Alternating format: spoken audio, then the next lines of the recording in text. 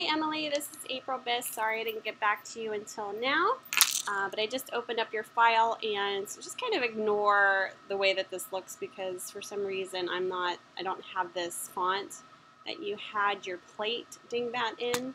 Um, but we don't have to worry about that because I think what you need to do is, is kind of rethink about what the mark that you need. I think that you did a great job with exploring different things, but I don't know if the dish is really kind of working for you. So I would just eliminate it. Let's start from scratch here. All right, another thing that I noticed is you are distorting your type, and that's a no-no with any type of logo, really anything in design. Once you distort your type, it becomes really, really hard to read. So what we want to do is we want to, uh, let's see here,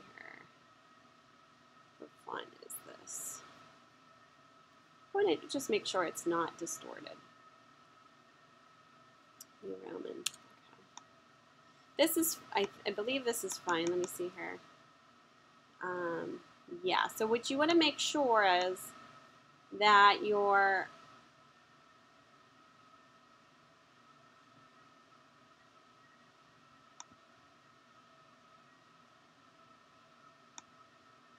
Okay, so what you want to make sure is go to your character palette and see this vertical scale and this horizontal scale, make sure they're at 100. If they're not, watch what happens.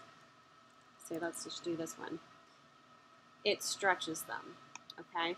And that, to me, tells me right away that, you know, that shouldn't happen. So I would start with, you know, you have a good classical classic typeface here. I would start with, you know, getting that as your main your main focal point. Okay, so I just did Times New Roman bold. That's very, it's a classic font. It's going to work. Just adjust the leading here, which is here in your type panel box. The leading is the space in between your two words. That's how you would adjust it, get that together. Looks really good. And then, then I would, you know, this is secondary. Your bakery word is secondary. You can choose a completely different typeface for this. Maybe it's a sans serif typeface just to kind of set it off a little differently. Sans serif means it doesn't have the, the serifs, the little feet at the end. Um, so it would be something like, let's try,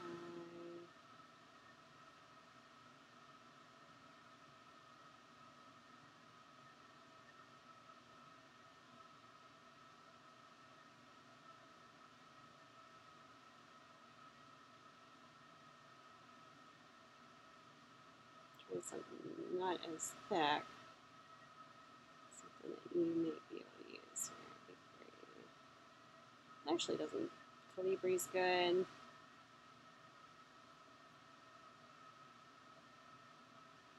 Let's do Avenir. And we're going to do book. And I'm going to spread it out a little bit. So I'm going to spread out to like 100. And that's kerning. And this is going to be secondary because the name is the most important. Make sure these are aligned, centered. I would try something like this. There's your align it's aligned. And then what you can do is add little details. So maybe there, you know, maybe it's little dots that you're adding in there. Keep it simple. Whoops.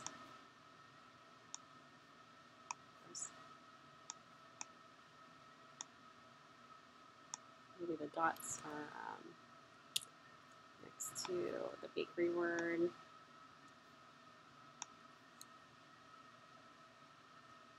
Zoom in here so, oops.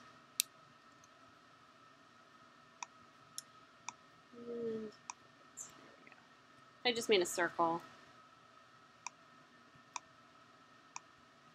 I'm going to do an alt drag, make sure they align. See how that kind of gives a nice little, nice little look to it there. Oops.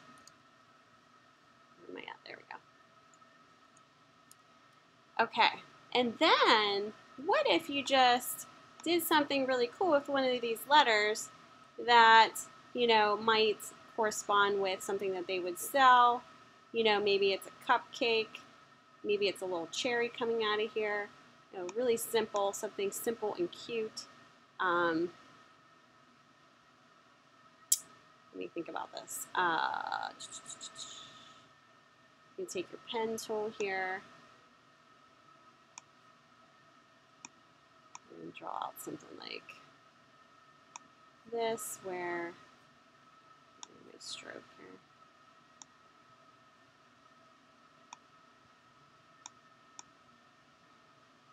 It's a little rounded. And we're going to do little arrowheads. I'm trying to find if I could do variated width here. Um, we could go in and actually modify this. So let me go take my pen tool. Let me let me um,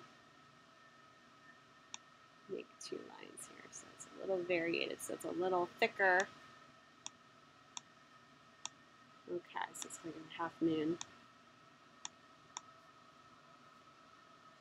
And picking up like a cherry type thing.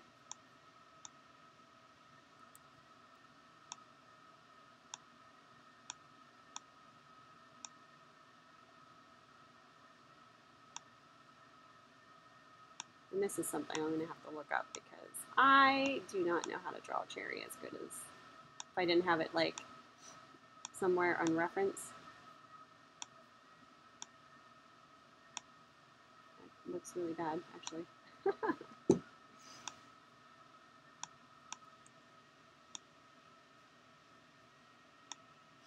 so let me actually go on Google Images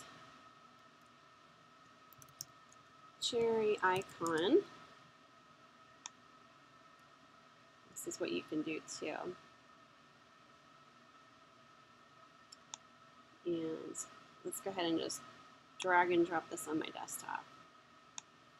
And we'll just, you can trace it too, but we'll kind of show you an easy thing here. So place, file place after you get that on your desktop.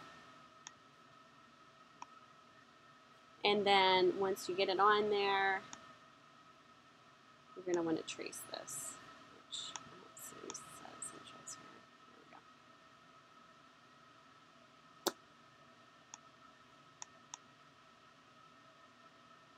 Where's my trace?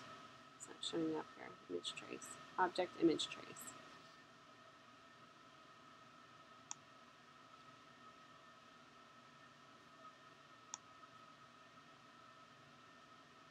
and then you want to hit object image, image space expand so you can get rid of the background white. Oops. And then maybe try to implement this somewhere into your design. Something. Um, see here.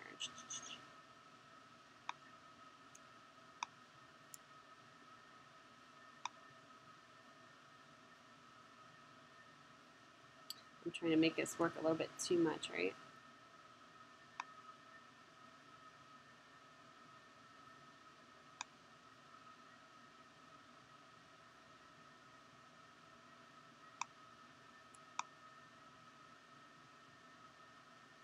Going to say maybe it could be coming out of this U, you know, and maybe it's, you know, a cupcake or something that's you're kind of playing around with too. I mean, that's kind of looks weird. Um, you know, maybe it's just kind of playing around with the U and this space here, making it look like a cupcake. Well, maybe that isn't the answer. Maybe you're, oops, maybe do like a Google image search for cupcake top icon. This is just kind of getting you a little bit more forward with your with your stuff. So maybe it's like this Cool Whip type look here in the upper part of this. So a couple, a couple things um, to just think about that you can play around with.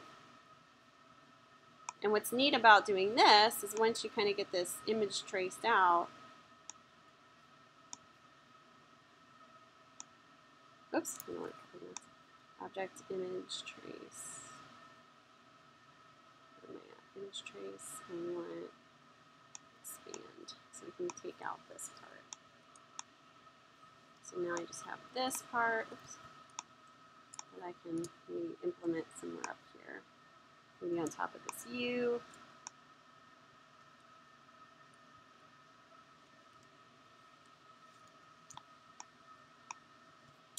Or could even just be on top of here.